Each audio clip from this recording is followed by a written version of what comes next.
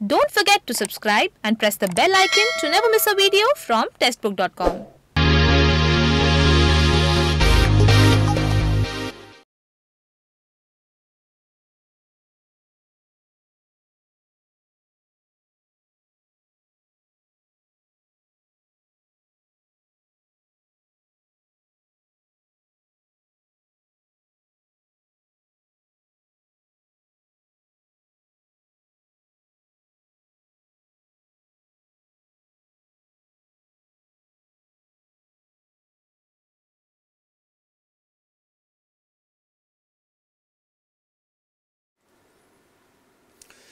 Good morning guys कैसे हैं आप लोग? और मैं आपके एजुकेटर के साथ। और यहाँ पर हम आज बात करेंगे अपने मोटिवेशनल कोट के साथ। तो मोटिवेशनल कोट हमारा क्या है? वो देखिए यहाँ पर। We may encounter defeats but you must not be defeated मतलब कई बार ऐसा होता है कि डिफीट मतलब जो लॉसेस होते हैं, जो हम डिफीट खाते हैं, हमारे सामने होता है।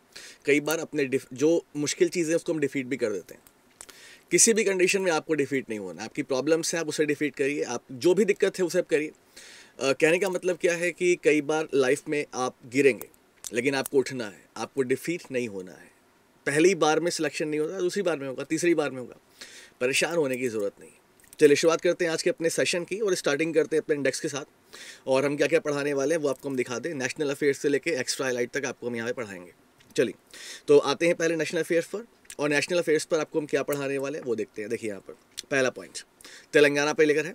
तो Telangana to have first blockchain district Telangana सरकार पहला ब्लॉकचेन डिस्ट्रिक्ट डेवलप करने वाली। ये ब्लॉकचेन डिस्ट्रिक्ट जो होगा, ये स्टार्टअप को अट्रैक्ट करने के लिए होगा। कि स्टार्टअप इस स्टेट में जाकर अपने अपने फैक्ट्रीज अपने आउटलेट्स यहाँ पे लगाएँ। इस ब्लॉकचेन टेक्नोलॉजी के थ्रू तेलंगाना गवर्नमेंट वहाँ के जो एंटरप्रेन्योर्स हैं, जो स्टार्टअप करते हैं उनको सस्ते रेट पर लैंड या फिर जो भी सुविधाएँ होती हैं वो प्रोवाइड करेगी। आइए देखते हैं इसके बारे में, क्या पॉइंट आपको मैं समझाने की कोशिश कर रहा हूँ। देखिए, Telangana will have first blockchain district ये तो क्लियर हो गया आपको, ठीक है? It is aimed at wooing firms and startup in the field to set up shop in the state मतलब कि फर्म्स और स्टार्टअप स्टेट में आए और वहाँ पर आकर डेवलपमेंट की बात करें। देखिए land at subsidised rate funding of research and regulatory and policy support और among the features of Telangana government draft blockchain policy तो वही जो मैं आपको एक्सप्लेन कर रहा था कि तेलंगाना गवर्नमेंट जो हाँ, स्टेट के स्टार्टअप्स हैं या फिर दूसरे स्टेट के जो बिजनेसमैन हैं उसको अट्रैक्ट करने के लिए ब्लॉकचेन टेक्नोलॉजी यूज़ करेगी। ज़मीनों को सस्ते रेट पे देने के लिए या फिर सारे जो रिसर्च रेगुलेटरीज के लिए फंडिंग करने के लिए ये सारे काम तेलंगाना गवर्नमेंट करेगी। ठीक है? तो ये पॉइंट हमारा था पहला। यही पर एक क्वेश्चन है कि Telangana shares border with how many state Telangana कितने स्टेट के साथ सीमा साझा करती है? ये क्वेश्चन यहाँ पर है, ठीक है? इसका आंसर क्या होगा? इसका आंसर फाइव होगा। और ये कौन कौन से स्टेट हैं वो भी मैं आपको दिखा दूँगा यहाँ पर। तो ये स्टेट देखिए कौन कौन से। आंध्र प्रदेश, छत्तीसगढ़, महाराष्ट्र, कर्नाटका और उड़ीसा इतने स्टेट जो है वो सराउंड करते हैं तेलंगाना को। चीफ मिनिस्टर हैं के चंद्रशेखर राव और गवर्नर हैं ई एस एल नरसिम्हम। आपके सामने इनके नाम यहाँ पर हैं। ठीक है? चलिए आगे बढ़ते हैं क्वेश्चन यहाँ पर। Which of the following has unveiled Azure blockchain service that would simplify the formation, management and governance? ये मैं क्वेश्चन आपको पढ़ा चुका हूँ। इसका आंसर क्या होगा? इसका आंसर होगा Microsoft option number two Microsoft is right answer okay next point national affairs में आज के दूसरी न्यूज़ की बात करते हैं national green tribunal national green tribunal ने 25 स्टेट और यूटीज़ पर वन करोड़ रुपीज़ का फाइन लगाया। ये फ़ाइन क्यों लगा है? क्योंकि ये 25 स्टेट और यूटी जो हैं, ये प्लास्टिक वेस्ट को डिस्पोजल करने में नाकाम रहे।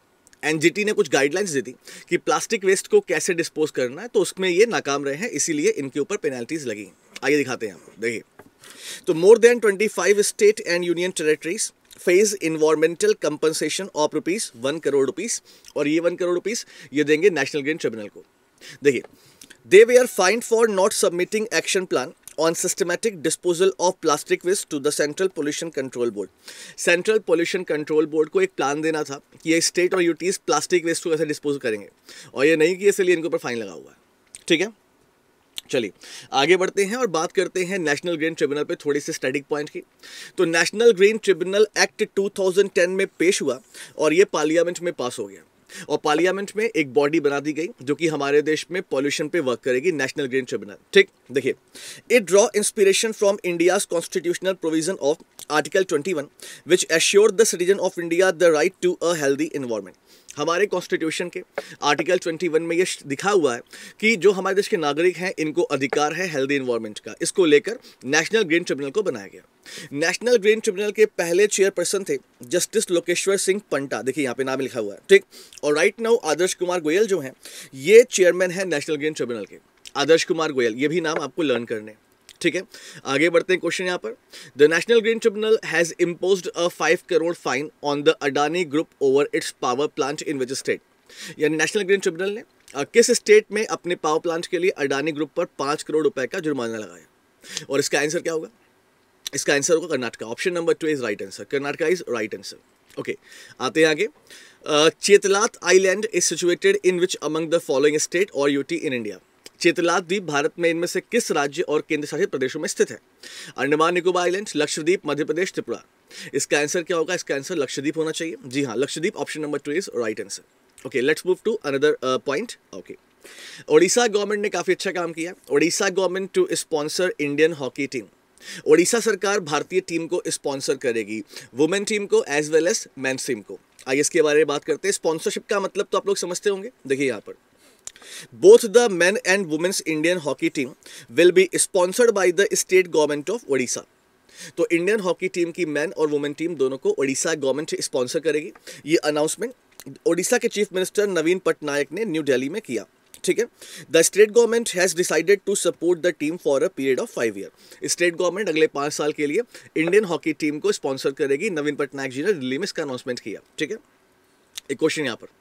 तो which of the following is located in Orissa इसमें से कौन सा नेशनल पार्क उड़ीसा में स्थित है? आपके सामने पाँच ऑप्शन है और ये नेशनल पार्क का क्वेश्चन है स्टैटिक क्वेश्चन है। इसका आंसर क्या होगा? इसका आंसर होगा Bhitarkanika national park Bhitarkanika national park जो है ये उड़ीसा में स्थित है। आगे बात करें। The largest river in Orissa in Odisha की सबसे बड़ी नदी कौन सी है? तो उड़ीसा की सबसे बड़ी नदी ऑफकोर्स कौन सी होगी? महानदी होगी। हमने कई बार पढ़ा हुआ है। जैसे हीराकुंड डैम कहाँ पे है? हीराकुंड डैम किस रिवर पे है? महानदी रिवर पे है ना? चलिए, आगे बढ़ते हैं और एक क्वेश्चन की बात करते हैं। Sagar Kasana scaled Mount Everest Sagar Kasana ने माउंट एवरेस्ट पर चढ़ाई की। अभी इधर बीच काफ़ी हमने माउंट एवरेस्ट पर न्यूज़ देखी है। मैं उसका आपको रिवीजन भी करा दूँगा। देखिए यहाँ पर। Ghaziabad based mountaineer Sagar Kasana has scaled Mount Everest the world highest peak he unfurled the Indian flag at the summit of 10:15 a.m. on May 22, 2019 ठीक है? अब देखिए नीचे वाले पॉइंट को पढ़ने की ज़रूरत नहीं। सागर कसाना गाजियाबाद के रहने वाले हैं जिन्होंने एवरेस्ट को स्केल किया। ये पॉइंट आपको मालूम चल गया।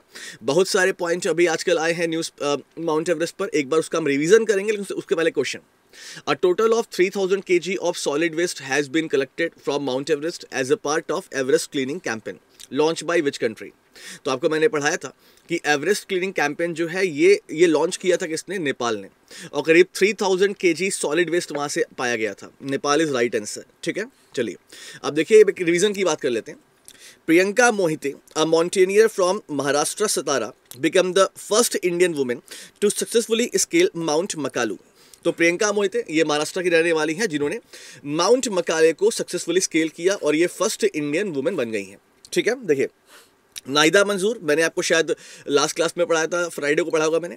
Nahida Manzoor created history by becoming the first Kashmiri women to successfully summit the world highest peak Mount Everest ये भी पॉइंट क्लियर है आपको। थर्ड पॉइंट की बात करें, केवल हिरेन कक्का 28 ईयर ओल्ड इन्होंने सिक्स डेज़ के अंदर 8000 से एबअप जो भी दो पर्वत हैं उस पर चढ़ाई की। तो ये भी आपको मैंने पढ़ाया है। Saray Khumalo became the first black African women to conquer Mount Everest in her fourth attempt ये भी आपको मैंने पढ़ाया हुआ है तो ये सारे पॉइंट का रिविजन एक तरह से है। चलिए, आगे बढ़ते हैं और बात करते हैं आपसे क्वेश्चन की। Name the oldest Indian women to scale Mount Everest मतलब कि माउंट एवरेस्ट पर चढ़ने वाली सबसे उम्रदराज भारतीय महिला का नाम बताइए। इनका नाम क्या है? इनका नाम है Sangeeta Bahl option number three तो संगीता बहल जो है सबसे ज़्यादा एज की वुमेन थी जिन्होंने माउंट एवरेस्ट को स्केल किया। चलिए आगे बढ़ते हैं और आपको इंटरनेशनल अफेयर्स पे लेके चलते हैं। नेशनल अफेयर्स में जितना ही है। अब इंटरनेशनल अफेयर्स की बात आपसे करेंगे और आपको पता है कि जापान में 2020 का ओलंपिक होने वाला है और इसके मद्देनज़र ट्रांसपोर्टेशन को फास्ट बनाने के लिए जापान ने एक नए बुलेट ट्रेन मॉडल का परीक्षण किया इसकी स्पीड क्या होगी, वो आपको हम दिखाते हैं। इसका नाम क्या होगा, वो भी आपको हम दिखाते हैं। देखिए, A new model of bullet train set to enter service ahead of the Tokyo Olympic hit a record speed of 360 km per hour in a test run यानी इसने अपने टेस्ट रन में 360 किलोमीटर पर आवर का speed generate किया। काफ़ी बड़ी बात है ये। ठीक? इस ट्रेन का नाम है, इस मॉडल का नाम है the N seven hundreds is the first new model of the bullet train on Japan busiest line for almost a decade तो इसका नाम क्या होगा? द एन सेवन हंड्रेड्स देखिए यहाँ पे लिखा हुआ। तीन सौ साठ किलोमीटर इसकी स्पीड है। ये भी हमने आपको बता दिया है। चलिए आगे बढ़ते हैं और एक क्वेश्चन की बात करते हैं।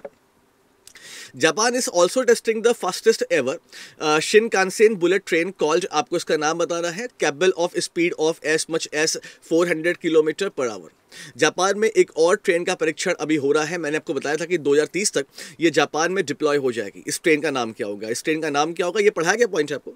इसका नाम होगा alpha X option number one alpha X is right answer okay next question की बात करें The first trial run of Train 18 was conducted on Bareilly, on Bareilly and which section? आपको पता कि ट्रेन 18 जिसका नाम वंदे भारत एक्सप्रेस हो गया उसका परीक्षण किस रेलवे ट्रैक पर हुआ था किस रेलवे स्टेशन पर हुआ था ये आपसे पूछा गया। और इसका आंसर क्या है? इसका आंसर मुरादाबाद है। मतलब बरेली मुरादाबाद ट्रैक पर इसका परीक्षण किया गया था आपको ये पता है। ठीक है? आगे बढ़े नेक्स्ट पॉइंट की बात करें तो नेक्स्ट पॉइंट आपके सामने बस मैं लेके तुरंत आ रहा हूँ यहाँ पर।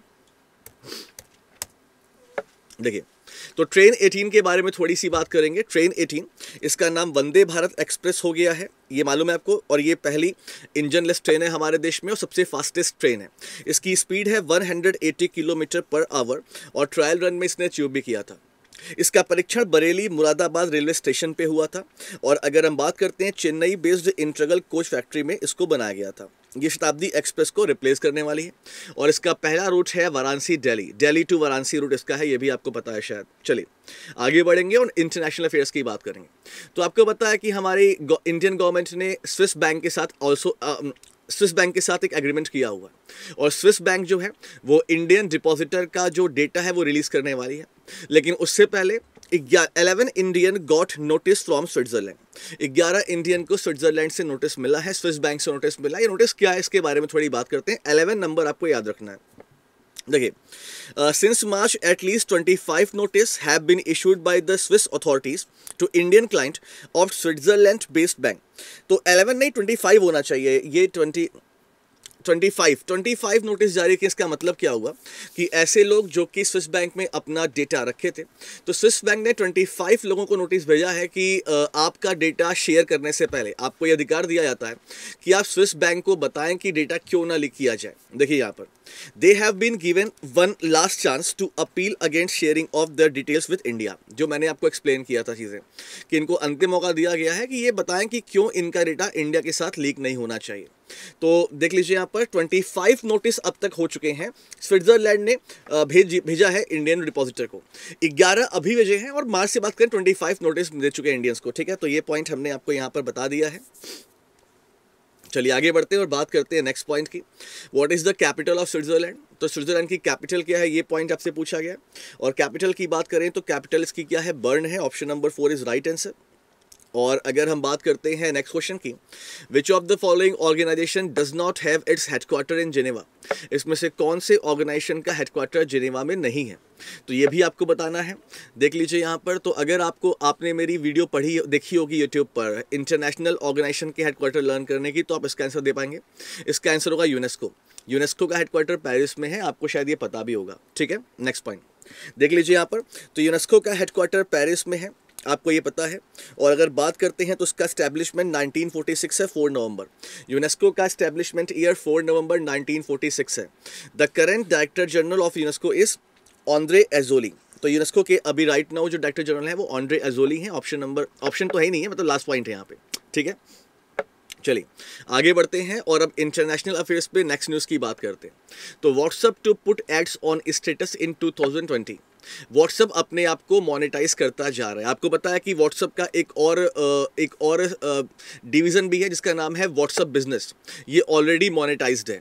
और अभी क्या होगा कि जो स्टेटस आप लोग व्हाट्सअप पे देखते हैं, अब उस पर एड्स चलेंगे मोनेटाइज्ड एड्स चलेंगे। फेसबुक ने घोषणा भी कर दी है। देखिए यहाँ पर। लेकिन 2020 होगा, ये भी आपको लर्न करना। तो WhatsApp status will start displaying ads from 2020 the messaging platform parent firm Facebook has confirm यानी फेसबुक ने कन्फर्म कर दिया है कि 2020 से व्हाट्सअप स्टेटस पर भी ऐड चलेंगे. ऑलरेडी फेसबुक ने व्हाट्सअप बिज़नेस ऐप को ऑलरेडी मोनेटाइज किया हुआ है. मतलब व्हाट्सअप भी मोनेटाइज होने की दिशा में है. चिंता ना करें, आपके पैसे नहीं लगेंगे. जिसको भी एडवर्टीजमेंट कराना है, वो पैसे देगा व्हाट्सअप को. ठीक है? आपको केवल देखना है. नहीं देखना है तो स्किप कर देना है. या देखना ही क्यों है? है ना? चलो. तो ये पहला पॉइंट हमारा हो गया. आगे बढ़ते हैं और एक क्वेश्चन है कि व्हाट्सअप क्या है? तो व्हाट्सअप क्या है? तो एन इंस्टेंट मैसेजिंग एप्लीकेशन है, ये तो हमको पता ही है ना? सर्च तो है नहीं। ना ये सर्च इंजन है, ना ये एडवर्टीजिंग पोर्टल है, और ना ये गेम एक्सचेंज प्लेटफॉर्म है। चलिए आगे बढ़ते हैं। फेसबुक के बारे में बात करें तो फेसबुक को 2004 में फाउंड किया गया। कैलिफ़ोर्निया में इसका हेडक्वार्टर है। मार्क जुकरबर्ग कंपनी के चेयरमैन एंड सीईओ हैं। व्हाट्सअप की बात करें कैलिफ़ोर्निया में इसका भी हेडक्वार्टर है। 2009 में से फाउंड किया गया था। क्रिस डेनियल के सीईओ हैं। और पेरेंट कंपनी फेसबुक है। आगे बढ़ते हैं इंटरनेशनल अफेयर्स की बात करते हैं तो octopus octopus inspired wearable sensor तो ऑक्टोपस से प्रेरित पहनने योग सेंसर विकसित किए हैं, किस यूनिवर्सिटी ने किए हैं आईओएम्स की बात करते हैं। देखिए scientist from Sung Sungkyunkwan तो scientist from Sungkyunkwan university in South Korea have develop flexible variable sensor तो दक्षिण कोरिया के सुंग वान विश्वविद्यालय के वैज्ञानिकों ने लचीले पहनने योग्य सेंसर विकसित किए हैं। ये सेंसर ऐसे होंगे जो कि आप इसे, जैसे नहीं, ग्लव्स हम लोग पहनते हैं, वैसे ही आप अपने बॉडी में फिट कर सकते हैं और ये आपके बॉडी को ट्रैक करेंगे और आपके जो ह्यूमन एक्टिविटीज़ हैं, जो बॉडी के अंदर होती है, उसको ये पहचान दिलाएँगे, ठीक? बस आपको क्या पढ़ना है? आपको इतना पढ़ना है कि साउथ कोरिया के सुंगक वान यूनिवर्सिटी के साइंटिस्ट ने एक ऑक्टोपस से प्रेरित होकर एक तरह का सेंसर डेवलप किया जो कि हमारे बॉडी को ट्रैक कर सकता है हमारे हेल्थ को ट्रैक कर सकता है। इतना ही पढ़ना है और कुछ पढ़ने की ज़रूरत नहीं है और, और कुछ नहीं आएगा आपके एग्ज़ाम में ठीक? अब ऑक्टोपस की बात करेंगे। तो octopus belong to which animal? Phylum. Octopus किस जैव वैज्ञानिक संघ से संबंधित है? ऑक्टोपस की हम बात करें तो आपको ये पता होगा आई थिंक इसका आंसर है मुलस्का ऑप्शन नंबर टू तो मुलस्का फाइलम में ही आता है ऑक्टोपस ठीक है? आगे बढ़ें साउथ कोरिया की बात हुई है तो साउथ कोरिया यहाँ पर देख लीजिए साउथ कोरिया और नॉर्थ कोरिया बिल्कुल पास है। साउथ कोरिया और जापान बिल्कुल पास है। साउथ कोरिया कैपिटल सियोल है करेंसी साउथ कोरियन वॉन है और प्रेसिडेंट मून जा इन है। ठीक है? चलिए आगे बढ़ते हैं।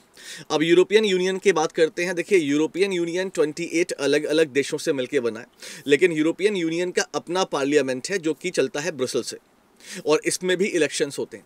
तो यूरोपियन यूनियन की बात कर रहे हैं E P P one one seventy eight seat अब ये ई पी पी क्या है? इसके बारे में थोड़ी सी इन्फॉर्मेशन आपको देते हैं। यूरोपियन पार्लियामेंट पब्लिस्ड इसका नाम है इस एक पार्टी है। एग्जैक्टली exactly, मेटली हो गया फ्रांस हो गया जर्मनी हो गया इन देशों की एक पार्टी है। तो European Parliament published the provisional result for this year election European Parliament ने इस साल का इलेक्शन डेटा पब्लिश किया है। The European People's Party the European People's Party EPP जो हम लोग बोल रहे थे the European People's Party group one one seventy eight seat and remain the largest political group in the legislature European People's Party ने 178 seat जीती है। और इसमें कौन कौन से देश हैं? मैंने आपको एग्जांपल्स दिए लाइक जर्मनी हो गया फ्रांस हो गया इटली हो गया। ये सब इस देश इस इस इस, पॉलिटिकल पार्टी में आते हैं। ये सारे देश आते हैं। ठीक? तो 178 सीट जीत कर सबसे बड़ी पॉलिटिकल ग्रुप बन गई है यूरोपियन यूनियन की। ठीक है? यूरोपियन यूनियन का हेडक्वार्टर कहाँ पे है? ब्रुसल्स बेल्जियम में है। अगर आपने मेरा ब्रेग्जिट वाला वीडियो देखा होगा तो मैंने ये सब समझाया उसमें भी। आप वहाँ से भी कंफर्म कर सकते हैं, ठीक है? चलिए, यहाँ पर क्वेश्चन है। Which of the following treaty via which European Union came into existence इसमें से कौन सी संधि के द्वारा यूरोपियन यूनियन अस्तित्व में आया था? तो ये संधि कौन सी थी? ये थी मास्ट्रिच संधि। रशिया के प्रभाव को रोकने के लिए यूरोप में ये संधि की गई थी आपस में। एक क्वेश्चन और who among the following actor will be facilitated by the Council of European Chamber of Commerce in India and European Union delegation ये भी क्वेश्चन पढ़ाया हुआ है। इसका आंसर क्या होगा? Anil Kapoor option number one एक क्वेश्चन और शायद होगा? हाँ जी हाँ। The European Union expand its tax haven blacklist by how many countries adding the U and Bermuda in March 2019 and the answer is ten तो टेन कंट्रीज़ को और बढ़ाया गया है। मतलब देखते हैं इसका मतलब। देखिए The European Union expanded its tax haven blacklist by 10 countries, adding the UAE and Bermuda on 12 March 2019. The list now 15 countries long. मतलब इस लिस्ट में 15 लोग 15 देश आ चुके हैं मतलब ऐसे देश जो कि जो कि अपने पैसे का यूज़ टेरर फाइनेंसिंग में करते हैं अपने पैसे का यूज़ मनी लॉन्ड्रिंग में करते हैं तो उन सारे देशों को ब्लैक लिस्ट में डाला यूरोपियन यूनियन ने टोटल 15 हो चुके हैं 10 अभी इसमें ऐड किए गए चलिए आगे बढ़ते हैं। इंटरनेशनल अफेयर्स में हम बात करेंगे डोनाल्ड ट्रंप की। डोनाल्ड ट्रंप दुनिया के पहले पहले किसी देश के राष्ट्रपति हो गए हैं, जो कि जापान के एम्पर से मिले। तो मैंने आपको जापान के एम्पर के बारे में बताया था कि जापान में नए एम्पर बन चुके हैं। उनके बारे में थोड़ी बात करते हैं, देखिए। तो US president Donald Trump made history becoming the first world leader to meet with new emperor of Japan तो ये पहले लीडर बन चुके हैं, जिन्होंने जापान के एम्पर से मुलाकात की। Emperor Naruhito ascended throne on May one two thousand nineteen opening what is called the era of Reiwa और ब्यूटीफुल हारमोनी तो आपको पता है कि एम्पर नारूहितो जो हैं, इन्होंने सिंहासन को ग्रहण किया था एक मई को, और इनका जो युग कहलाएगा वो रीवा कहलाएगा। ये भी आपको मैंने पढ़ाया हुआ है, ठीक है? चलिए क्वेश्चन यहाँ पर।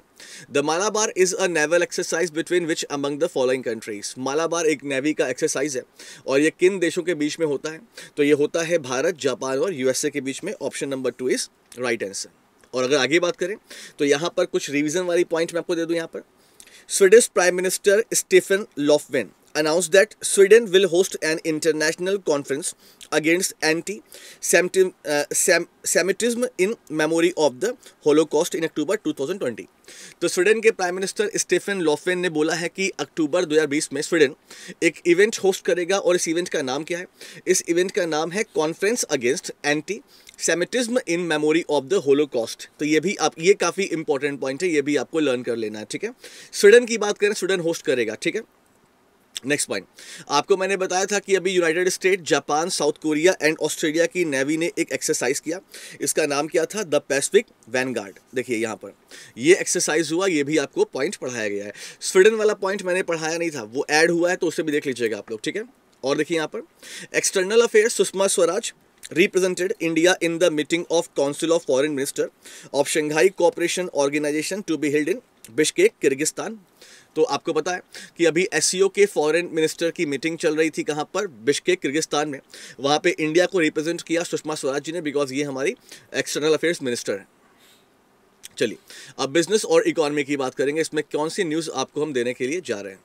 तो मोतीलाल ओसवाल, शायद आपने नाम सुना हो तो Motilal asset management company launches WhatsApp transaction platform इसका मतलब क्या हुआ कि मोतीलाल ओसवाल एक म्यूचुअल फंड कंपनी है और इसके कस्टमर को जो सारी सुविधाएँ मिलेंगी अब वो व्हाट्सअप से मिलेंगी। मोतीलाल ओसवाल ये करने वाली हमारे देश की पहली फंडिंग कंपनी बन गई। देखिए यहाँ पर। आ, मैं आपको दिखाता हूँ नेक्स्ट पॉइंट यहाँ पर देखिए। Motilal Oswal asset management company launch its WhatsApp transaction platform for new as well as existing investor तो व्हाट्सअप के थ्रू आपके सारे ट्रांजेक्शन होंगे।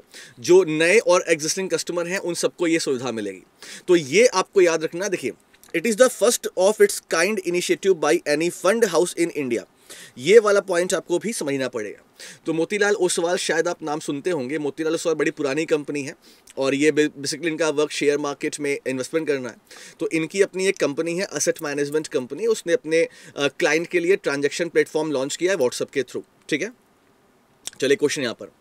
Whose panel has formed an asset management company called S Sashakt India asset management for resolving large bad loan तो किस committee ने recommendation दिया था कि हमारे देश में जो बड़े बड़े लोन हैं, उनकी रिकवरी के लिए सशक्त इंडिया असेट मैनेजमेंट कंपनी बननी चाहिए? It is very important question and the right answer is Sunil Mehta option number two is right answer let's move to question let's move to next point Motilal Oswal financial service के बारे में थोड़ी सी information 1987 में इसको बनाया गया था, इसका हेडक्वार्टर मुंबई में है।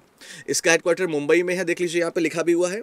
और मोतीलाल ओसवाल रामदेव अग्रवाल, ये इसके की पीपल हैं, ठीक है, इस कंपनी के। चलिए आगे बढ़ते हैं, और एक क्वेश्चन के साथ आपके लिए। In which of the following city of Madhya Pradesh was the National Institute of Design inaugurated in February NID तो किस शहर में एनआईडी का उद्घाटन हुआ? तो ये भी इंपॉर्टेंट क्वेश्चन है, और इसका आंसर होगा Bhopal. Option number two is right answer Bhopal is right answer देखिए National Institute of Design at Bhopal in Madhya Pradesh and Jorhat in Assam दो जगहों पर यह बनाने की बात हुई थी, आपका हम रिवीजन करवा देते हैं। तो मध्य प्रदेश में भोपाल और असम में जोरहाट में ये दोनों एनआईडी बनेंगे नेशनल इंस्टीट्यूट ऑफ़ डिज़ाइन ठीक है? Both institute are autonomous under the department for promotion of industry and internal trade means D P double I T and ministry of commerce and industry तो ये भी याद कर लीजिएगा, ठीक है? चलिए, आगे बढ़ते हैं, अपॉइंटमेंट और रेजिग्नेशन की बात करेंगे आपसे। देखिए यहाँ पर। तो P S Golay new chief minister of Sikkim Sikkim के नए चीफ मिनिस्टर बन गए हैं पी एस गोले इनका नाम है, देखिए इनका नाम। चलिए सिक्किम क्रांतिकारी मोर्चा इनकी पार्टी का नाम है। प्रेसिडेंट प्रेम सिंह तमांग या फिर पीएस गोले दोनों नाम इन्हीं के हैं। प्रेम सिंह तमांग बोल लीजिए या पी एस गोले बोल लीजिए। ये चीफ मिनिस्टर का पद ग्रहण कर चुके हैं ट्वेंटी सेवन्थ मे को। वहाँ के गवर्नर सिक्किम के गवर्नर गंगा प्रसाद जी ने शपथ दिलाई है इनको। और अगर हम बात करते हैं तो ठीक है, ये सब पॉइंट इतना पढ़ने की ज़रूरत नहीं है। प्रेम सिंह तमांग या फिर पी एस गोले का नाम याद कर लीजिए। गंगा प्रसाद गवर्नर है सिक्किम के, जिन्होंने इसकी शपथ दिलाई है इनको, ठीक है? देखिए यहाँ पर। In which of the following state the Lepcha tribe can be found. इनमें से किस राज्य में लेप्चा जनजाति पाई जाती है? तो अभी हम किसकी बात कर रहे हैं? सिक्किम की बात कर रहे हैं। तो आंसर क्या होगा? सिक्किम होगा। Option number two is right answer. Okay next question State Bank of Sikkim is a तो स्टेट बैंक ऑफ़ सिक्किम क्या है? तो State Bank of Sikkim Reserve Bank of India के अंतर्गत नहीं आता है। और जो भी bank Reserve Bank of India के अंतर्गत नहीं आते हैं, उन्हें हम नॉन शेड्यूल बैंक बोलते हैं। इसका आंसर क्या होगा? इसका आंसर नॉन शेड्यूल बैंक या गैर अनुसूचित बैंक हो जाएगा। ठीक है? एक क्वेश्चन और। When date Sikkim became state of India Sikkim किस दिन, किस ईयर में इंडिया का स्टेट बना? And the answer is 1975 option number one okay next question LV Navneet CEO of the Hindu तो एलवी नवनीत जो है द हिंदू ग्रुप के सीईओ बन चुके हैं इनका नाम भी याद कर लीजिएगा, ये इंपॉर्टेंट पॉइंट है देखिए, LV Navneet will be taking over as the new CEO of the Hindu group from June one 2019 on completion of the term of the incumbent CEO and MD Rajiv N. Rajiv C. Rajiv Rajiv C. Lochan Rajiv C Lochan तो Rajiv C लोचन का कार्यकाल पूरा होने के बाद L V Navneet जो है, ये सीईओ बन जाएँगे द हिंदू के, ये आपके सामने है, ठीक है? ये पॉइंट पढ़ने की आपको ज़रूरत नहीं है तो एल वी नवनीत का नाम याद कर लीजिएगा, ये द हिंदू के सीईओ बन रहे हैं, ठीक है? A question. Who received the Hindu Inspiration Achievement Award 2019? The Hindu Inspiration Achievement Award 2019 किसने प्राप्त किया? किसने प्राप्त किया? इनका नाम क्या है? इनका नाम है Preeti Srinivasan option number two is right answer okay next next point Papua New Guinea PM resign तो पपुआ न्यू गिनी के प्रधानमंत्री ने अपना इस्तीफा दे दिया। एग्जैक्टली में इन्होंने क्या किया था? इनकी जो पार्टी के जो ऊपर के लोग हैं, इन्होंने सीधे उनको थ्रेटन दिया था, धमकी दी थी। उसके बाद इनका विरोध हुआ और इन्हें अपने प्राइम मिनिस्टर की पोस्ट से इस्तीफा देना पड़ा। आइए इसके बारे में बात करते हैं। Papua New Guinea prime minister Peter O'Neill Peter O'Neill इनका नाम है। Peter O'Neill resign following a string of high profile political defection that threaten his leadership तो आपको बस याद क्या रखना है कि Peter O'Neill Papua New Guinea के प्राइम मिनिस्टर थे, जिन्होंने अपना रिजाइन दे दिया है। और इन्होंने अपना रिजाइन दिया है जूलियस चाँद को, और जूलियस चाँद जो होंगे, अब वो न्यू, अब पपुआ न्यू गिनी के नए प्राइम मिनिस्टर होंगे। जूलियस चाँद ऑलरेडी दो बार प्राइम मिनिस्टर बन चुके हैं पपुआ न्यू गिनी के। जूलियस चाँद याद कर लीजिएगा, पीटर ओनील ने रिजाइन दिया है, ठीक है? चलिए, आगे बढ़ते हैं। एक question what is the capital of Papua New Guinea Papua New Guinea की राजधानी क्या है? यहाँ पर पाँच ऑप्शन आपको दिखाई पड़ रहे हैं। तो पपुआ न्यू गिनी की कैपिटल क्या है? Port Moresby Port Moresby option number one और पपुआ न्यू गिनी की कैपिटल क्या है? तो देख लीजिए यहाँ पर कीना है। कीना इसकी कैपिटल है पोर्ट मोरिसबी इसकी capital Port Moresby capital and kina is currency कीना इस करेंसी ठीक है? याद कर लीजिएगा। चलिए, आगे बढ़ते हैं और बात करते हैं आपसे रिसेंट अपॉइंटमेंट और रेजिग्नेशन की। यहाँ पर देखिए the commandant of the Indian Army Infantry School Lieutenant General Shailesh Shailesh Tinaikar तो शैलेश तिनाकर की बात करें इन्हें अपॉइंट किया गया है as the new force commander of the United Nation mission in South Sudan U N M I double S तो शैलेश की बात कर रहे हैं शैलेश तिनाकर की बात कर रहे हैं, इन्होंने, इनको अपॉइंट किया गया है as the new force commander of the United Nation mission in South Sudan ये भी याद कर लीजिएगा, ठीक है? एक पॉइंट और फोर न्यू सुप्रीम कोर्ट जज सुप्रीम कोर्ट में चार नए जज अपॉइंट किए गए हैं और इनके अपॉइंट होते ही सुप्रीम कोर्ट में जजों की संख्या थर्टी वन हो गई है, थर्टी वन हो गई है। ये कौन कौन जज हैं? Justice Aniruddha Bose A S Bopanna, Bhushan Ramkrishna Gavai and Suryakant. ये इनके नाम है। कल मैंने आपसे इनसे, इन पर क्वेश्चन भी पूछा था। ठीक है? और देख लेते हैं यहाँ पर। British prime minister Theresa May announce resignation from her post. she will resign on 7 June. Her announcement trigger the start of contest to replace her as Conservative leader and prime minister ठीक है? तो Theresa में resign कर देंगी, अपना ये भी आपको बता दिया गया है, ठीक है? चलिए, आगे बढ़ते हैं। और Y S R Congress chief Jagan Mohan Reddy जो हैं, ये chief minister of Andhra Pradesh बनने वाले हैं थर्टियथ मई को ये शपथ लेंगे। तो ये भी देख लीजिएगा, आपको पता ही होगा ये सारे पॉइंट चलिए, आगे बढ़ते हैं स्पोर्ट्स की बात करते हैं। स्पोर्ट्स में क्या क्या न्यूज़ आपको हम देने वाले हैं यहाँ पर देखिए। तो लोइस हैमिल्टन ने मोनाको ग्रांड प्रिक्स जीत लिया है। लोइस हैमिल्टन ने मोनाको ग्रांड प्रिक्स जीत लिया है, आगे इनके बारे में बात करते हैं।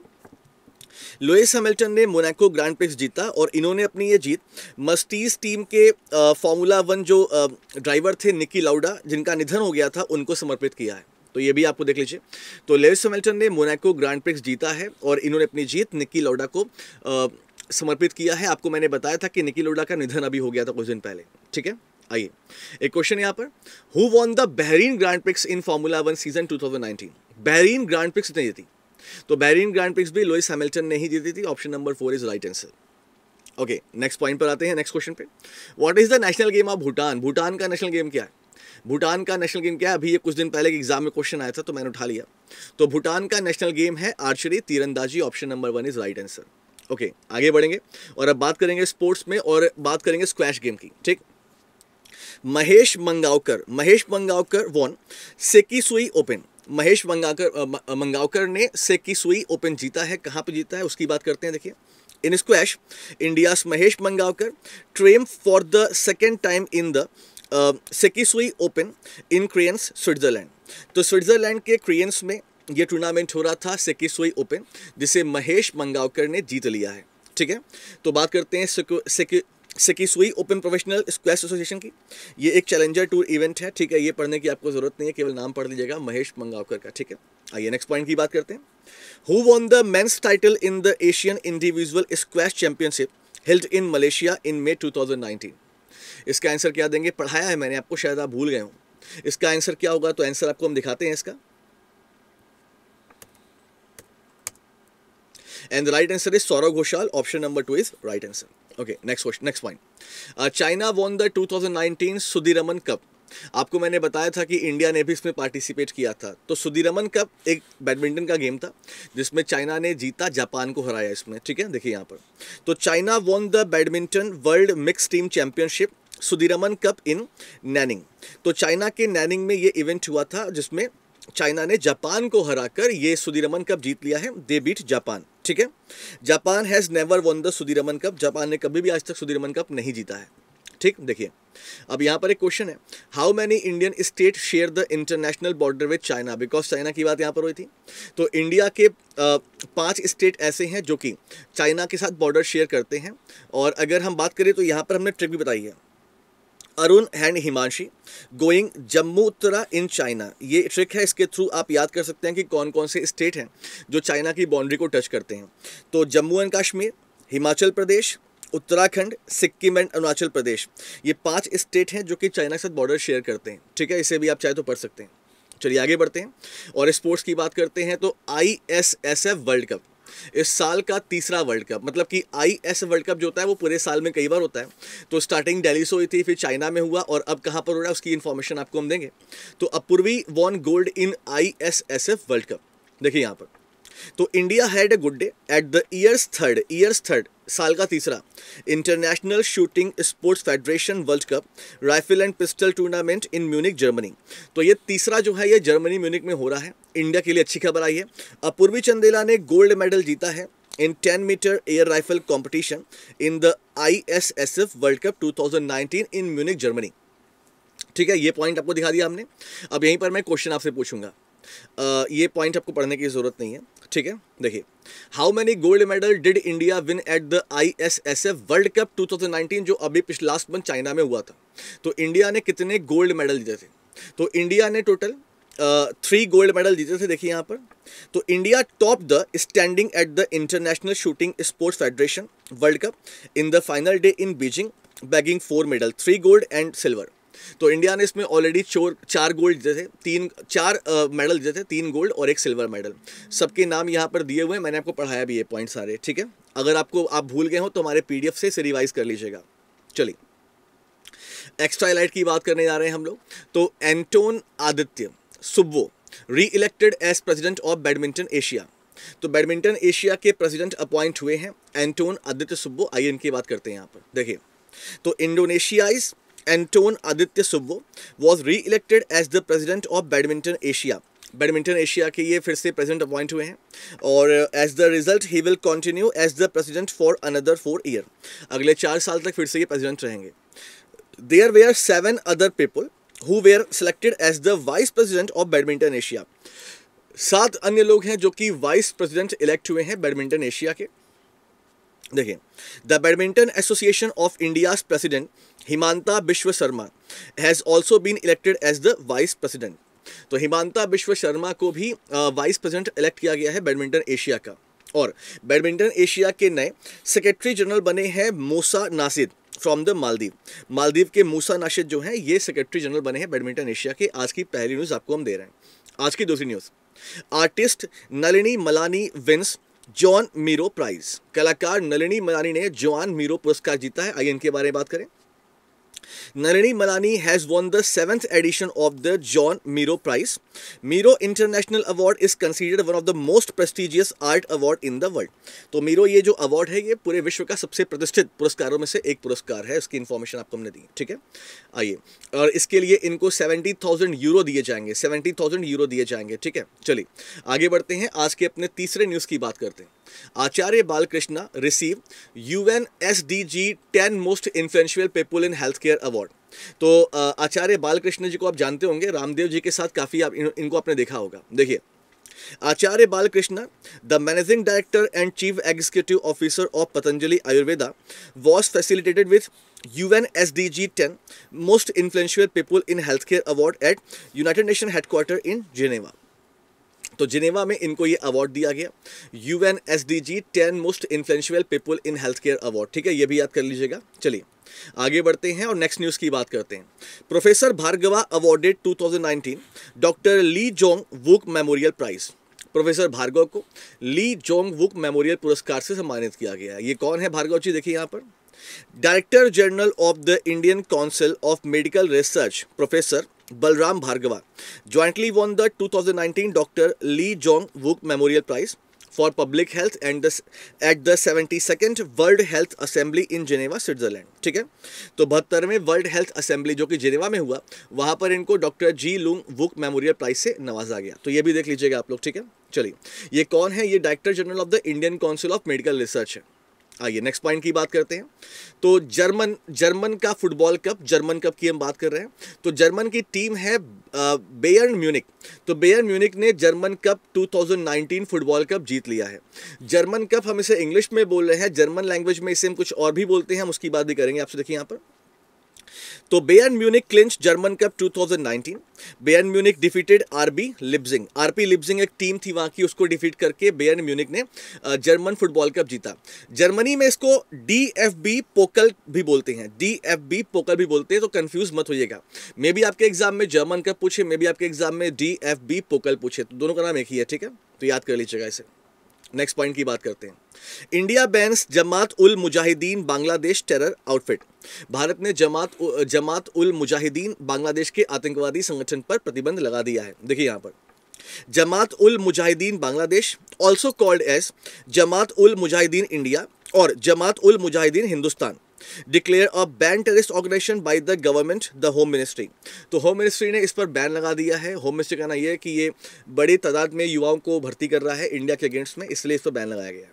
ठीक है? तो वो सारे पॉइंट यहीं पर हैं, देख लीजिएगा। चलिए, आगे बढ़ते हैं। एक्सट्रा में नेक्स्ट न्यूज़ की बात करते हैं।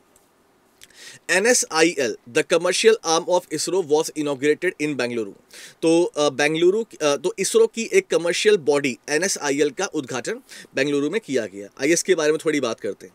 तो New Space India limited NSIL New Space India limited the commercial arm of the Indian space research organisation was inaugurated in Bengaluru तो बेंगलुरु में इसका उद्घाटन हुआ। N S I L main objective is to scale up industry participation in Indian space programme मतलब जो ये industries हैं, इनका पार्टिसिपेशन मतलब फंडिंग वंडिंग करने के लिए इसरो को ये कंपनी बनाई गई है। ठीक है? तो N S I L was inaugurated by ISRO honorary adviser doctor K Kasturirangan in the presence of chairman doctor K Sivan तो इसरो के मानस सलाहकार डॉक्टर के कस्तूरी रंगन ने इसका उद्घाटन किया डॉक्टर के शिवान भी यहाँ पे मौजूद थे। चलिए आगे बढ़ें और आपको नेक्स्ट न्यूज़ पे लेके चलते हैं। नेक्स्ट न्यूज़ हमारे साथ क्या होगी यहाँ पर, देखिए।